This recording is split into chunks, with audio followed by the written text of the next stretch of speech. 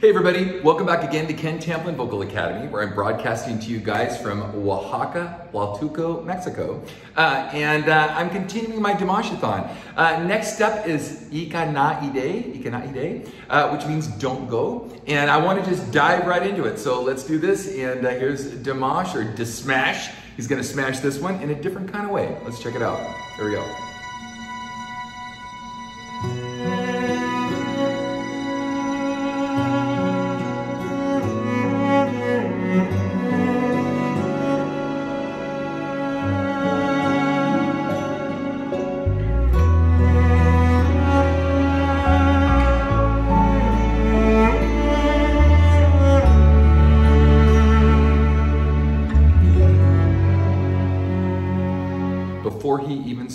Starts, you're gonna say, Ken, he didn't even get a word out of his mouth and you have to comment. Yes, I do.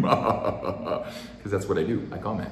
Um, is that natural instruments, guys, beautiful, natural, real, non sampled, orchestral, organic, beautiful instruments. It is the polar opposite of my rant on Spotify's top 2021, right? This is music, it's living, it's breathing, and it's gonna give him the ability to step into something passionate, organic, you know, emotional. And we're about to hear that now, but I wanted to comment this the setup to this rather than um, music that's not organic. It can't it can't have the same setup. It just can't. So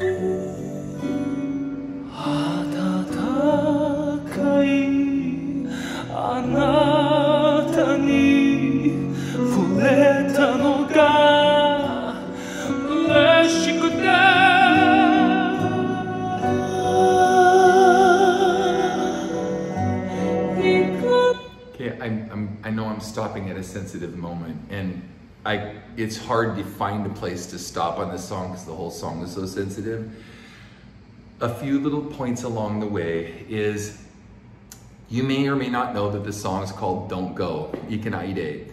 Um, but the way he's singing it and his emotive passion and sorrow and lament and pain and, and, and just anguish in it, you get the sense, much like in the Italian opera, that you don't even need to know the lyric as much as knowing that he's begging someone not to do something, okay? And so you get this emotive thing as you're, as you're listening to it without even knowing the lyric.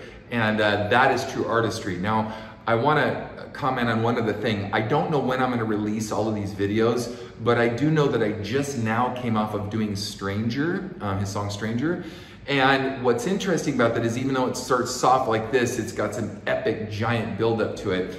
Um, the sign of a true artist is one that is very, I think, I mean, there's different forms of artistry, of course, but um, the, the more expansive artists are ones that can emote uh, a grand epic sort of thing like he did in Stranger, but can turn right around and be so sensitive on Ikanaide where he doesn't need to scream at you to get you on your feet to start clapping. He can actually make you internalize this in yourself and be in introspective um, as you're moving through the song. So that's really, really interesting that he's got the whole gamut. He's got the big, belty, powerful range, this and that, which everyone always says, oh, the guy only knows how to belt. No, he doesn't. That's crap. Shut up. You're full of it. This kid is freaking awesome and everything he touches turns to gold. And right now he's displaying the sensitive side of his abilities and not just the belting technical side. So,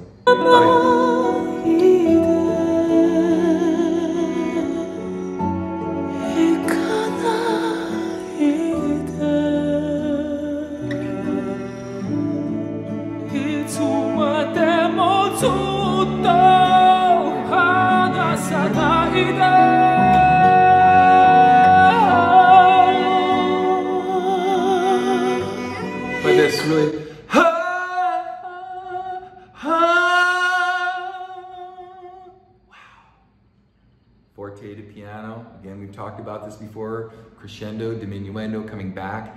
It is so hard to do that and do it with the pitch and perfection and the shape of the vowel staying the same. Let's listen to that one more time. Sorry to interrupt, but pointing out just some minor technical things along the way.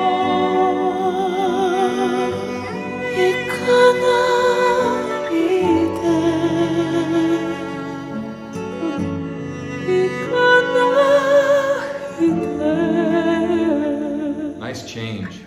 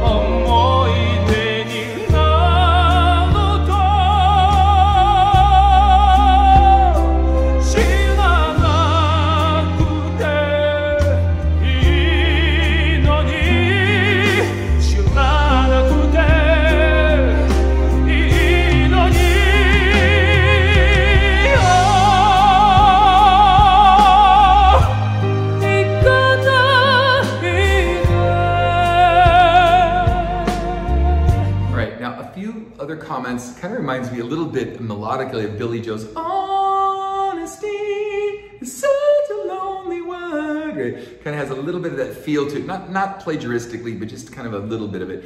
Um, but I want to uh, point out, he goes in and out of using uh, his operatic vowel. So, hello, right? He does that, and then you go, la,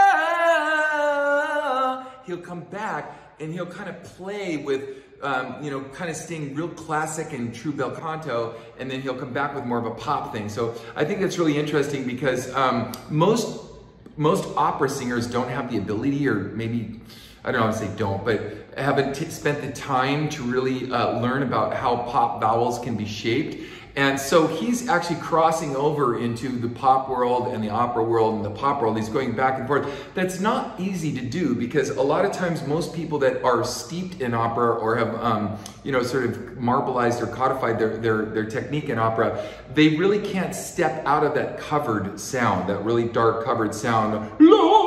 Kind of sound. So he's, he's going back and forth and he's toggling between the two. I think that's really awesome. So Andrea Bocelli does that too. Most people don't think of Andrea Bocelli as like a true opera singer in that sense. He's more like popera, pop opera. Um, so I think that's interesting. But um, this guy's got amazing abilities to, to uh, toggle and juggle in between the two. So here we go.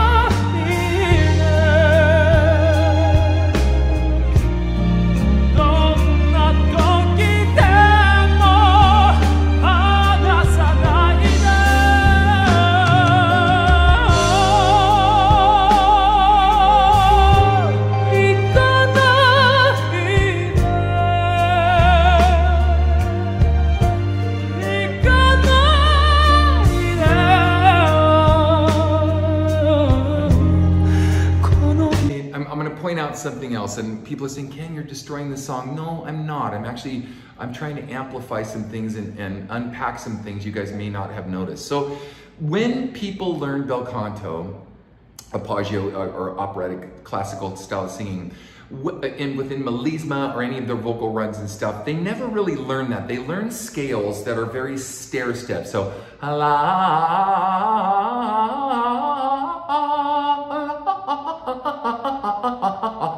you know, they learn, that's sort of their approach to learning it. And, and, and most vocal instructors want the notes themselves to be exactly spot on. So if going, lay,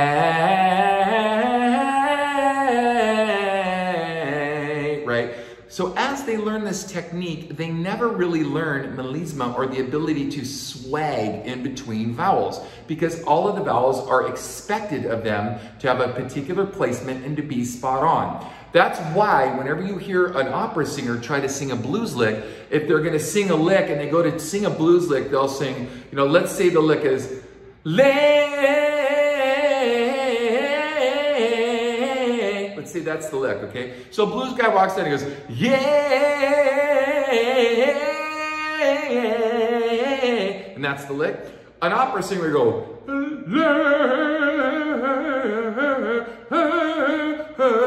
right? Because they are real stiff on it. They can't move around in the swag or the bending of the notes to a minor third or, or whatever. What's fascinating about um, Dimash is, I'm going to back this up, when you hear him in his melisma, he doesn't do that. He sings it like a blues guy, he sings it like a pop singer. So somehow he's integrated within his bel canto background the swag of stretching a minor third. Hey, hey, right? So he's learning the melisma in sort of a pop R&B context, um, as opposed to learning it as an opera guy. Now, I'll bet he had to learn the, the stiff opera, you know, stair step sort of uh, vowels first, and then migrated from that on into what we see here. Check it out.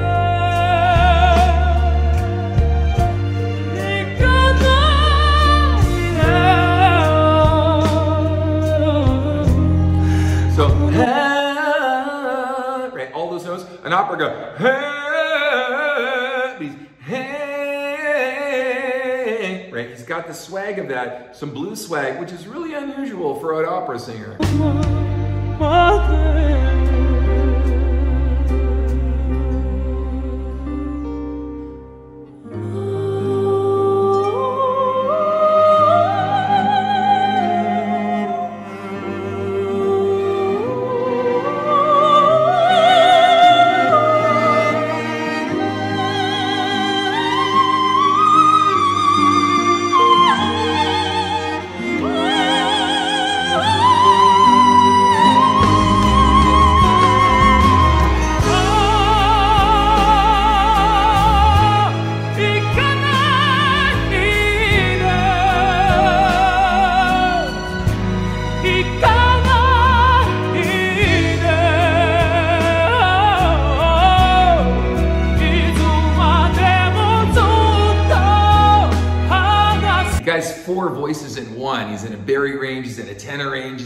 alto contralto range, goes into soprano range, and, you know, on the coloratura range, comes back down, all the way back down in the tenor range. I mean, he's four voices in one. The guy's just, he's an alien from another planet. I keep saying that, but he really is. This is amazing.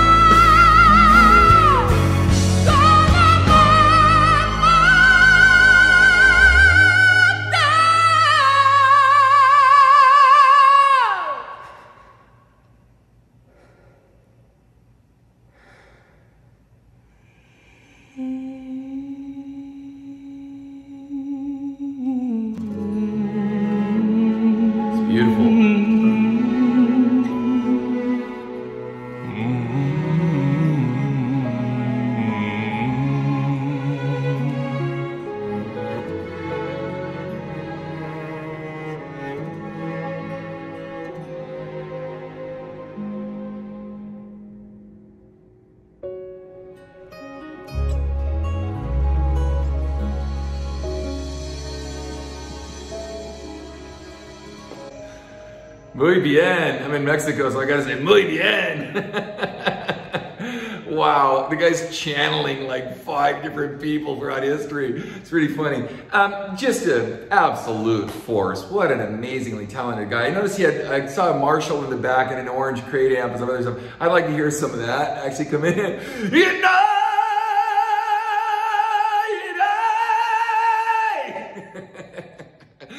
Personal preference. Anyway, hopefully you guys will stick around for my next video. Thank you for joining me for my Dimashathon. I'm having an amazingly it's educational for me too, because listen to this guy, I'm like, wow, you know, I teach I teach this compartmentally. You know, if I've got a soprano, I'll teach the soprano, or you know, we're doing a coloratura, I'll teach coloratura. I've got a barry or a tenor, whatever. I'll teach these compartmentally, but it's really tough to put these all together. I do some of this myself, as you know. I'm nowhere, I have nowhere near the super high range. I think I have lower, better lower range and, and a, a, beefier mid voice in him. I can distort my voice where he can't in the same way. Uh, but this brother is just three thumbs, four thumbs way up. If I had six thumbs, I'd be that might hurt. anyway, uh, six thumbs way up. Can't Ken Tamplin Vocal Academy, getting myself in trouble. Stick around till my next video. Next time, peace out.